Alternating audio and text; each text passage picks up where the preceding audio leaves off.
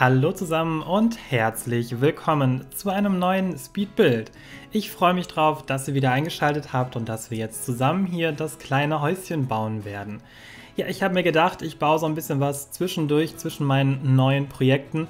Meine Fachwerkmühle habe ich ja frisch beendet und jetzt, ja, brauche ich wieder neue Ideen bin noch so ein bisschen dabei am Sammeln und am Schauen, was ich dann als nächstes Haus bauen könnte. Und da dachte ich mir, ich kann ja so zwischendurch mal so ein kleines Tiny House machen. Ähm, das wurde ja auch in der Umfrage erwähnt, dass ähm, ja, ihr oder dass einige von euch die Tiny Häuser sehr schön finden, die ich gemacht habe und davon noch ein paar sehen möchten. Ähm, deswegen dachte ich mir, ja, mache ich hier so ein kleines ähm, Eco Tiny Häuschen. Also, nee, es heißt Tiny Eco Living so rum, so rum heißt es. Also so ein bisschen was, was ein bisschen natürlicher aussieht mit vielen Pflanzen, sehr viel Holz, Holz dabei und ähm, ja, so ein bisschen was in Richtung ähm, Öko hat, vielleicht so einen leichten Touch davon. Jetzt ist er nicht direkt ökomäßig, ähm, aber vielleicht so ein bisschen in diese kleine Richtung geht.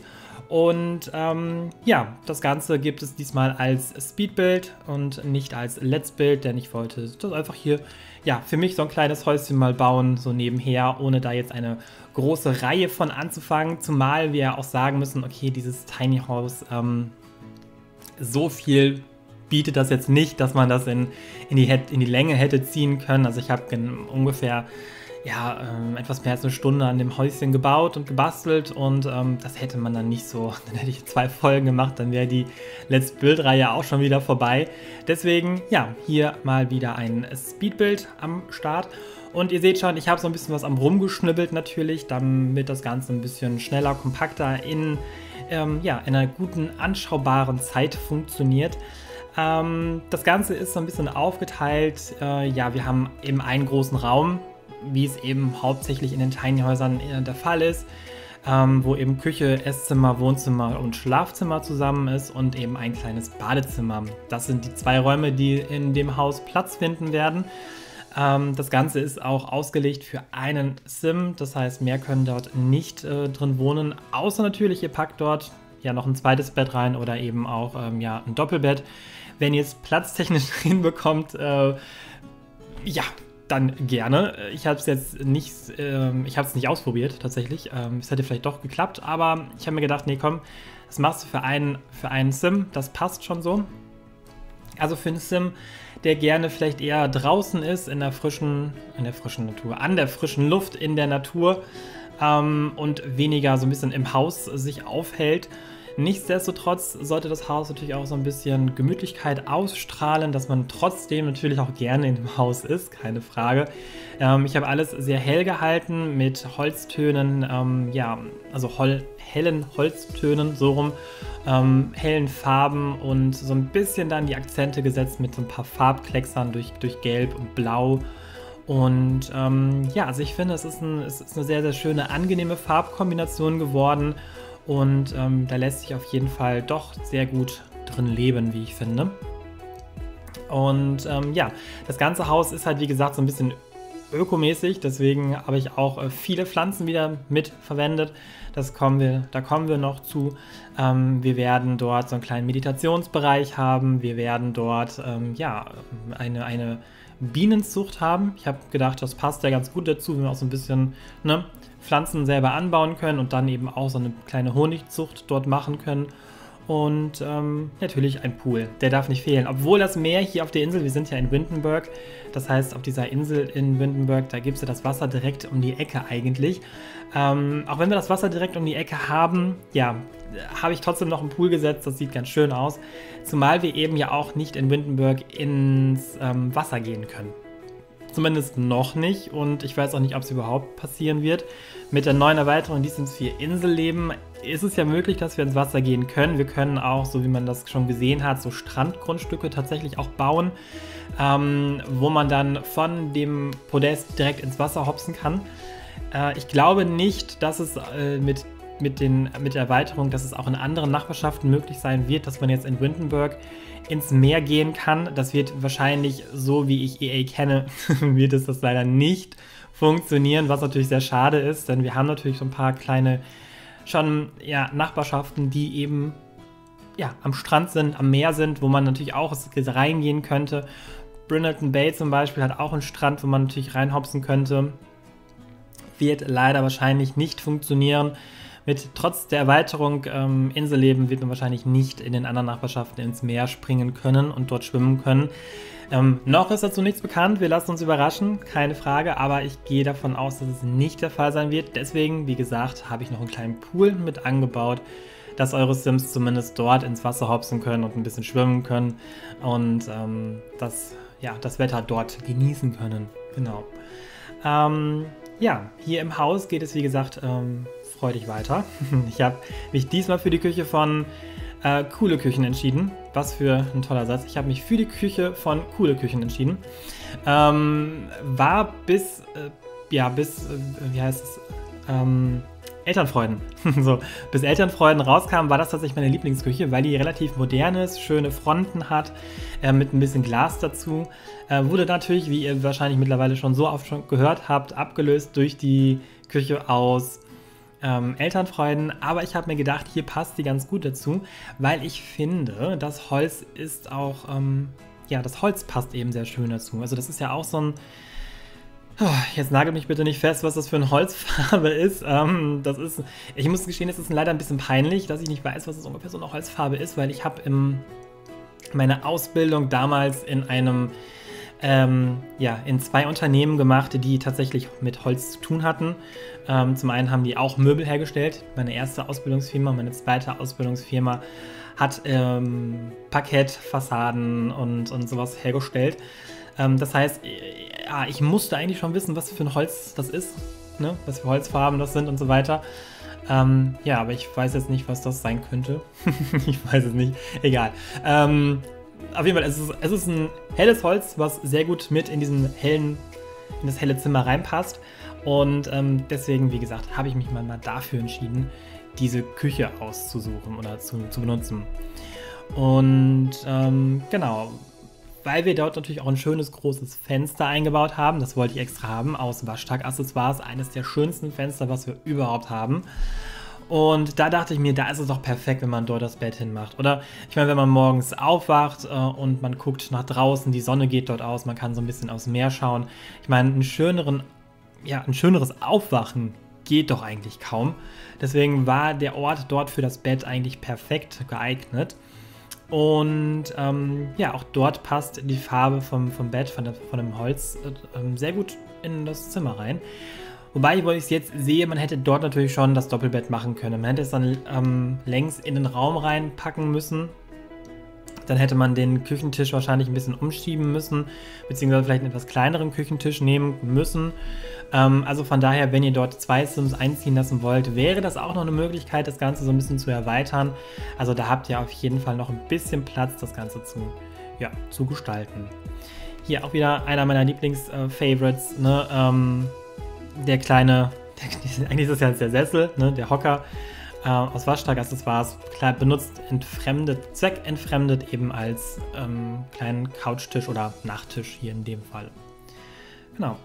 Was natürlich auch nicht fehlen darf, ist so eine kleine gemütliche Ecke zum Fernsehschauen. Die hat natürlich auch noch Platz gefunden. Wie gesagt, es ist zwar ein kleines Haus, aber jetzt vielleicht nicht ganz so tiny-mäßig, wie ähm, man es sonst erwarten würde. Ne? Also es geht ja noch kleiner tatsächlich. Deswegen gibt es auch hier noch so einen kleinen Sitzbereich, den man dort ein, den ich dort eingebaut habe, mit Fernseher eben auch. Und dann können eure Sims dort eben auch noch ein bisschen entspannen. Genau, entspannen, so. Hier kommt jetzt, wie gesagt, der kleine ähm, Tisch für den Fernseher. Da dachte ich mal, da packe ich jetzt ein bisschen was an Farbe rein. Wir haben ja schon ja, so ein bisschen gelb-orange durch ähm, durch den ähm, Deko-Sachen mit dem Teppich, das Bett und so weiter. Und ich wollte noch ein bisschen Kühle mit reinbringen, dass es eben nicht ganz zu, zu, zu warm wird, sagt man so. ähm, wurde mir zumindest damals beim, beim ich habe ein äh, Praktikum beim Architekten gemacht und da hat der mir, der Architekt mir gesagt, man muss immer in einem Raum eine vorherrschende Farbe nehmen. Das wäre jetzt hier wahrscheinlich die warmen Farbtöne, gelb, ähm, braun und so weiter. Aber das Ganze mit entsprechenden Komplementärfarben ein bisschen ausgleichen. Das ist dann jetzt zum Beispiel hier dieses Blau mit dabei.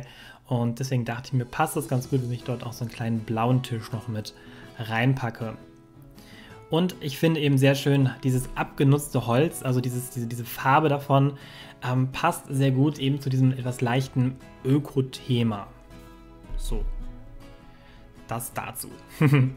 Hier habe ich jetzt noch gedacht, ähm, ja, mal was anderes, dass wir noch irgendwo so einen kleinen Stuhl, nicht Tisch, einen kleinen Stuhl da reinpacken, äh, wo so ein paar Sachen mit da drauf packen, als Ablage einfach nur, der da einfach so random im, im Raum drin rumsteht. Fand ich mal eine ganz interessante Idee, als da jetzt wieder so ein, klein, so ein kleines äh, Couchtischchen hinzustellen. Deswegen ähm, habe ich das mal gemacht. Auch hier diese, ähm, das, die abgewetzte ähm, Textur von dem Stuhl passt ganz gut dazu, wie ich finde. Ja, und wie gesagt, ähm, das wäre nicht ich, wenn ich nicht dort alles verbaue, was möglich ist. Deswegen habe ich eben auch noch hier ein bisschen Deko an die Wand gemacht, die wir noch ein bisschen übrig hatten. Und da wollte ich so eine kleine Galerie machen. Das fand ich ganz cool, die Idee. Und habe gesehen, dass die Rahmenfarben relativ gut zusammenpassen. Das hat mich relativ äh, überrascht, tatsächlich auch, dass wir dort diese Brauntöne zusammen haben.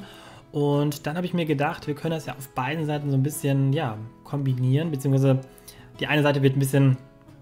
Ich wollte erst auf der einen Seite wollte ich erst unter, unter dem Fenster wollte ich erst die Bilder machen, so rum.